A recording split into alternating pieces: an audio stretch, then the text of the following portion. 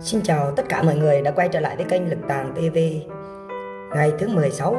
tại Trung An, Cửu Chi trong công cuộc vây bắt Tuấn Khỉ. Hiện tại đến bây giờ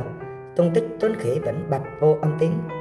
Cơ quan chức năng thì đang vào ngõ cụt khi tìm kiếm những vật chứng, những manh mối có liên quan đến vụ án để truy bắt đối tượng Tuấn Khỉ. 33 tuổi người đã xả súng khu vực Trung An Cửu Chi trong sới bạc tài xỉu. Cuộc sống rồi sẽ đi về đâu nếu như Tuấn Khỉ có thoát được vòng vây của pháp luật? Anh liệu có còn sống với chính bản thân mình từ trước đó hay không? Cuộc đời anh đã trải qua muôn vàn, sự tươi đẹp và sự cám dỗ của cuộc sống. Khi được cha mẹ nuôi dưỡng cho anh học, đến nơi đến chốn, đến khi có nghiệp vụ và làm ở trong nghiệp công an. Cũng có những sự việc rất là vui và rất là buồn trong cuộc sống của Tuấn Khỉ. Nhưng từ khi anh bước chân vào lỗi lầm, thì hiện tại bây giờ mọi con mắt luôn hướng về anh và theo dõi anh trên suốt chặng đường anh lẫn trốn.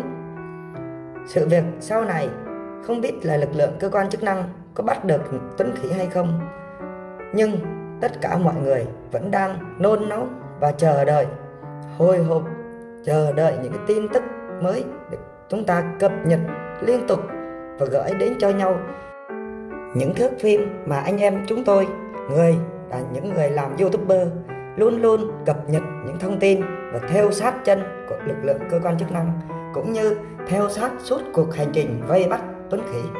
để gửi cho tất cả mọi người để tất cả mọi người cập nhật được những thông tin thật là mới nhất và thật là nóng nhất để cho chúng ta biết được khi nào Tuấn Khỉ sẽ xa lưới pháp luật và khi nào Tuấn Khỉ sẽ có lộ diện manh mối để cho chúng ta có một niềm vui và một niềm đợi chờ trong cái công cuộc vây bắt Tuấn Khỉ này. Cha mẹ Tuấn, vợ Tuấn, con Tuấn, gia đình Tuấn, anh em, bạn bè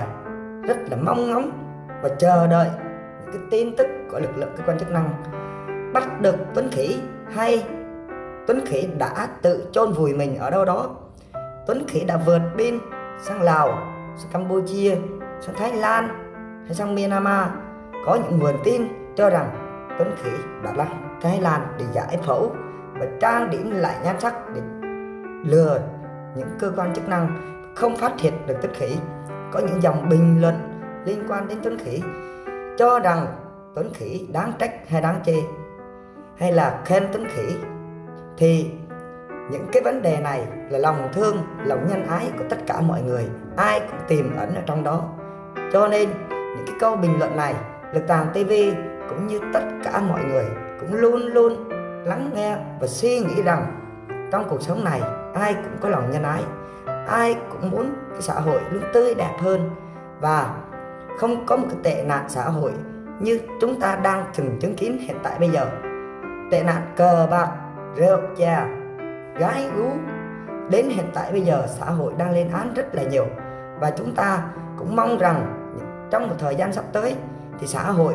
của chúng ta càng ngày càng tiên tiến và phát triển lên, thì chúng ta sẽ không còn phải nghe và phải săn những cái tin tức như hiện tại bây giờ. Tuấn Khỉ đã làm một việc tay trời đến mức độ chúng ta có yêu thương Tuấn Khỉ đến mức độ nào không bao giờ có thể tha thứ được. Và tội ác thì lúc nào cũng phải sẽ trả giá cho cái tội ác mình gây ra. Những người đã bị tính khỉ xả súng những người đã mất đi và những người đang bị thương đang còn nằm lại, thì liệu ai thương tiếc họ đây? Liệu những người chết đi, những người đang bị thương đó, thì cái số phận của họ đã trả giá cho một cái giá rất là đắt, cũng có mặt tại sân bài nhưng cũng có người đang chạy xe ôm để kiếm cuộc sống mưu sinh. Thì chúng ta, những người như vậy chúng ta nên nghĩ như thế nào? Chúng ta có biết được trong cái sòng bạc đó là những ai đúng và ai sai? Và những người nằm xuống đó liệu gia đình người ta có đau khổ hay không? Chắc cú là có sự đau khổ đến tột cùng khi người thân của họ đã mất đi. Những người trụ cột của gia đình và những người đang sống và làm việc trên đất nước Việt Nam mình. Cũng vì tệ nạn cơ bạc mà xảy ra những cái vấn đề này. Thì chúng ta cũng phải suy nghĩ rằng những sự việc này đó là do tệ nạn cho đồng tiền để cho cám dỗ của cuộc sống đã, đã đẩy con người vào một thế đường cùng. Đến mức độ chúng ta phải dùng súng để sát sinh lẫn nhau. Những người vô tội thì chết đi và kẻ thủ ác thì hiện tại bây giờ vẫn đang dẫn như đâu đó ngoài vòng pháp luật làm cho chúng ta lo sợ lo âu. Tại vì trong khẩu súng trong cái trong cái khẩu súng mà kẻ thủ ác đã gây án thì hiện tại bây giờ vẫn còn lượng đạn thì chúng ta không biết được là kẻ thủ ác nó có suy nghĩ được hay không nó có à, còn mang tính là một con người nữa hay không. Nếu còn thương vợ thương mẹ thương con của nó thì nó phải biết rằng cái cuộc sống này đang còn những người chờ đợi cái hành động đẹp của tuấn khỉ. Ví dụ như có thể ra đầu thú để làm cho gia đình, bạn bè, anh em sau này có một cuộc sống tươi đẹp và thoải mái và không bị những cái ánh mắt dèm pha của xã hội rằng mình đã có một đứa con, rằng mình đã có một người cha, rằng mình đã có một người bạn để dính vào án pháp luật và bỏ trốn đi nếu như Tuấn Khỉ bỏ trốn trốn thoát trong vụ án này, có thể sống ở một nơi phương xa nào đó mà chúng ta không bao giờ biết được. Nhưng tính cách của con người không bao giờ có thể sửa đổi được. Nếu như một người đã sát sinh và sát sinh rất là nhiều, đến năm, sáu mạng người, thì những người như vậy, cái lương tâm của người ta có ái náy hay không, nếu như trốn được, thì cuộc sống của họ sẽ ra sao? Chúng ta chắc hẳn cũng phải để một dấu hỏi, để dùng cho tuấn khỉ, nếu như có thoát được cái án này. Còn nếu như lực lượng cơ quan chức năng cũng như lực lượng cơ quan Việt Nam, bên và bên tất cả những cái nước lân cận và phối hợp cùng nhau và truy bắt được Tuấn Khỉ vào một ngày nào đó gần đây, thì tất cả chúng ta cũng sẽ rất là vui mừng, tại vì một người, một kẻ gây án, một kẻ sát nhân đã bị bắt xa lưới pháp luật và phải trả giá về những cái hành động mà bất Khỉ đã gây ra. Thì cũng trong chúng ta, tất cả chúng ta ai cũng rất mong muốn cái sự việc này nó sẽ nhanh chóng được giải quyết một cách thật nhanh. Nếu như Tuấn Khỉ đã bỏ đi thì sự việc này chúng ta sẽ mãi mãi vẫn là một cái sự lo âu. Còn nếu như Tuấn Khỉ đã bắt và được xa lưới vào pháp luật và được trừng trị về tội ác của mình, tất cả chúng ta chắc hẳn ai cũng sẽ rất là vui mừng và sung sướng cũng mong cho tất cả những lực lượng cơ quan chức năng trong suốt thời gian vừa qua cũng đã bỏ công lao bỏ sức lực và bỏ rất là nhiều mồ hôi công sức bỏ rất là nhiều những à, đền của và, và con người để đi tìm và truy tìm vật chứng cũng như tang chứng để điều tra và truy bắt tuấn khỉ nhưng đến bây giờ hiện tại chưa có một cái manh mối nào và cũng chưa có một cái nguồn nào để và trong công cuộc truy bắt tuấn khỉ một cách suôn sẻ lực lượng cơ quan gặp rất là nhiều khó khăn trong cuộc truy bắt này. Thì chúng ta cũng phải rất là ngưỡng mộ lực lượng cơ quan chức năng. Và lực lượng cơ quan chức năng cũng sẽ không bao giờ bỏ cuộc. Tại vì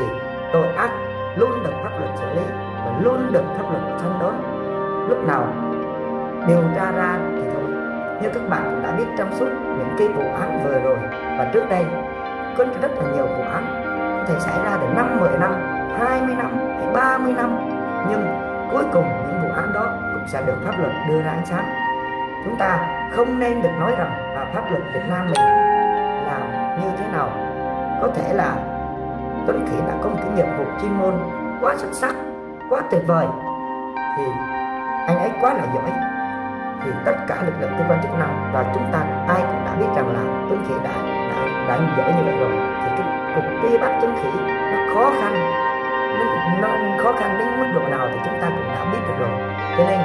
chúng ta hết sức bình tĩnh trong công cuộc truy bắt Tuấn Khỉ này.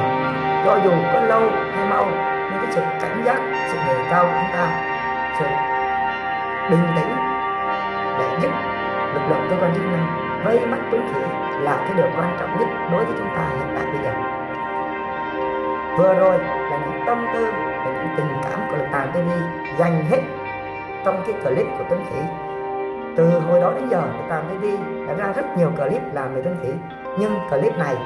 được Tàng TV chưa có một cái tin gì mới nhưng chỉ nói về cuộc đời của Tuấn Khỉ và lối thoát nào cho Tuấn Khỉ. Nếu như Tuấn Khỉ bỏ trốn được và có thể là đi ở một nơi phương xa nào đó, nếu như Tuấn Khỉ đã bị bắt và trả giá cho pháp luật thì Lực Tàng TV cũng đã nói hết tâm tư của mình. Trong cuộc nói chuyện này có nói có hơi vấp những chỗ nào hay có thiếu sót chỗ nào thì cũng rất mong tất cả mọi người hãy thứ lỗi cho Lực Tàng TV. Đây là tâm tư và tâm sự của Lực Tàng TV về công cuộc về bắt Tuấn Khỉ. Kênh Lực Tàng TV sẽ tiếp tục cập nhật những thông tin thật mới, thật nóng để gửi tới quý vị và các bạn. Xin chào và hẹn gặp lại mọi người ở những clip tiếp theo.